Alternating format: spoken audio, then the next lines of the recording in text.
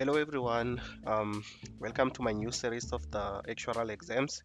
If you are new to my channel, check out my other series for subject A211 um, financial maths. So in this series we'll be going through the content of subject A213 which is called contingencies. It is a very technical subject and very challenging at the same time, right? So I've written it before in the first session of 2022 and unfortunately it didn't go well. So i'm doing this series in preparation for my next attempt this coming session in october. Um, hopefully it will go well this time. Uh, if it doesn't i guess a luta continua we'll try again next year. Um, yeah these exams are something else guys. Sure um, and I'm a bit worried for this one because I started my preparations late since I've recently changed jobs jobs and cities and it sometimes take a bit of time to adjust well to a, a new environment you know? So yeah but we are here now and it is what it is. Um, it's what we signed up for I guess. Um, yeah I bet most, most of us uh, who are in this actual journey, we were so excited when we started. And uh, don't be excited. It doesn't need chance takers. It doesn't need people who like nice time, niceties. It doesn't need that. It doesn't need people who get shaken easily. It doesn't need people who become amoebas in the process and they become shapeless and do not know what they represent.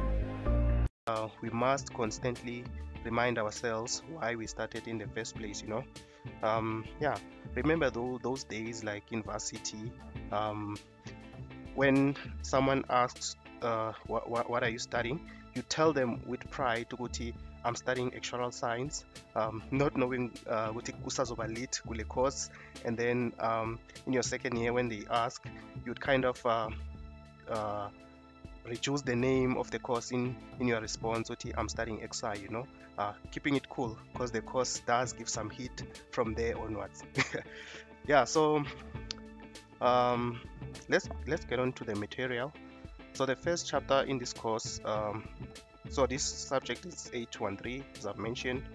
Um, the first chapter in the in the course is called the life table and this is a, a continuation of uh, concepts studied in A211 I think even with ASSA you can't take 813 if you haven't passed 811 not unless if you've registered to write both of them in the same session which is probably not uh, a good idea according to my experience especially if you you also have other commitments like like work.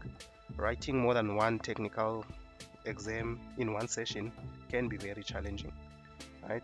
So okay back to the subject. I was saying this is a continuation of um, a211 financial mathematics. So in a211 we focused on valuing cash flows that are certain to occur an for example gives the present value of a payment of 1 at the end of each of the next n years where each payment will definitely occur now in this course we start to to value uncertain future cash flows such as those that are faced by a life insurance company. These cash flows may depend on the survival or death of a policyholder or other uncertain future events such as sickness or early retirement. So the, the content of this course is mostly based on insurance con contracts and annuity contracts. So in the contract, the policyholder will agree to pay an amount or a series of amounts to the life insurance company. We call these amounts premiums. The premiums may be, may be paid on a regular basis, usually monthly, quarterly, or annually. These premiums uh, may also be paid as one single payment known as a single premium, right? So yeah, these premiums are seen as income by the, the insurance company in return for these premiums, the insurance company will agree to pay an amount or amounts to the policyholder if a specified event occurs. Right? So these amounts paid by the insurance company to the policyholder are called policy benefits and they are a liability for the insurance company. Okay, so the content of this subject covers contracts with a single policyholder and then later extends to the, extends the theory to two policy holders right? Those are called joint life uh, contracts. Okay and then there's also a topic of uh, equations of value. That was sort of like briefly there's a chapter on equations of value in subject A211 and then um, in this course to be able to to calculate the premiums for a life insurance company um, or for a life insurance contract we need to use an equation of value right? A standard e equation of value um, is that the present value of income is equals to the present value of outgo right? So from the point of view of an insurance company income usually is in the form of premiums and outgo is in the form of policy benefits paid to policyholders okay? So since these cash flows are not certain to occur we need to consider the probability of them occurring. So to do this we must uh, consider the expected present value rather than just the present value right? So the equation of value then becomes the expected present value of income is equals to the expected present value of outgo right? So um, in, in, in addition to these premiums and the expected benefit payments to policyholders going out the insurance company will also incur some expenses when writing up these policies right? So we need to also consider that on the outgo side of our equation right? And then other components that must be considered in our equation of value is the time value of money. Here we are talking about interest rates. And then we also need to consider the uncertainty of the future cash flows right? So with this uncertainty of the future cash flows is when we bring in death and survival probabilities of a, a given policyholder okay? And then um, in the notes there's also a section called allowance for investment income. So here they touch briefly on why premiums are usually paid in advance rather than in arrears right? This is done to to protect the insurance company from having to pay a claim or policy benefits to a policyholder without actually receiving any premiums from that policyholder. So this would happen if premiums were paid in arrears.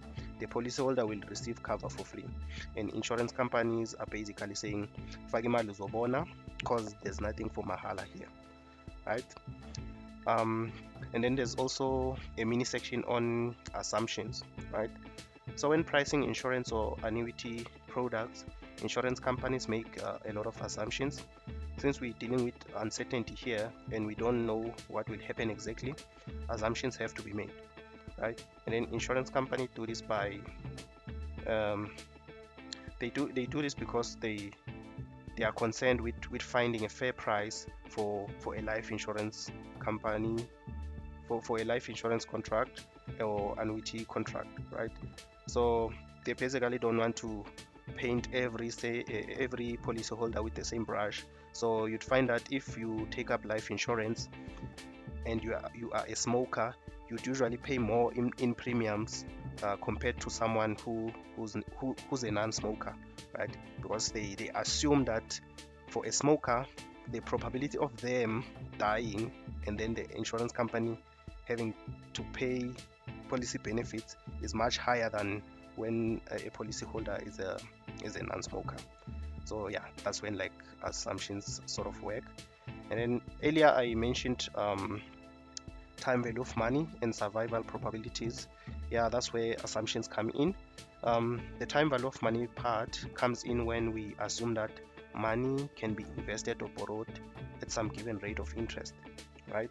In this course we assume that the rate of interest is known up upfront right? So um, it is kind of um, known what interest rate we will use when we price these uh, policy contracts okay? And then the, um, the death and survival probabilities part comes in when we look at the TPX and TQX as well as mu x the force of mortality right? So TPX is a survival probability and TQX uh, is a dead probability if I can put it like that. Okay? And then yeah. So the way they define tpx is that they, it is the probability that a life aged x survives for at least another ts right? So take um, TP50 for example. So that will be saying um, that will be the probability that a person who is 50 years old survives for another 10 years. That will be TP50 okay? And then there's TQX which is the which is defined as the probability that a life aged X dies within the next T years right? And then if we take uh, 10q50 for example that would be saying a, a person who is aged 50 dies within the next 10 years. That's 10q50 right? Um, we also need to note that um, the sum of these two probabilities will be equals to 1 so tpx plus tqx should give us 1 since in the next t years a person can either be dead or alive because um, if you are not in one of those two states what else could be happening with you really so not unless if you from a different planet or universe where other things are possible that we don't know of. Yeah but on earth a person can either be dead or alive. That's why the sum of those two probabilities will give us one. Okay? And then um, mu x is the force of mortality. This one is a is a bit tricky to understand and explain um, well at least for me so the way I the, the way I think of uh, of it uh, is that mu x represents the probability that a life aged x dies instantly right? Like in a very short time interval right? So a life aged x dying in um in the next minute for example would be mu x the force of mortality. Like we are forcing you to die. No yeah but mu x is just the probability of a person dying instantly. A person dying at that same exact age. So if you are 50 years old would be the probability of you like dying in the next couple of minutes. Yeah. Yeah but then uh, in the notes like this is how they put it. Um, so they say the force of mortality at exact, exact age x plus x denotes um, the annual rate of transfer between alive and dead at that exact age right? So it is the annual rate at which people are dying at that exact age okay? And then they do say that it's helpful to think of that probability by saying that um, it is the probability that, that a life aged x plus x plus s dying over the short time interval from when they are x plus s to x plus s plus couple of minutes that ds there that's the the couple of minutes uh, i was kind of like talking about right? And yeah. So the force of mortality is just the probability that a life aged x dies instantly or in the next instant of time. Um, yeah. Okay I I think I'll end it here for this video. Uh, thank you for watching uh, if you enjoy this kind of content feel free to like and subscribe. I'm also um, available on LinkedIn if you'd like to connect and be and be part of my network. Um, yeah. And all the best uh, with your with your exams to those who are also writing in this session. I hope it all goes well. Let us keep pushing. Okay cheers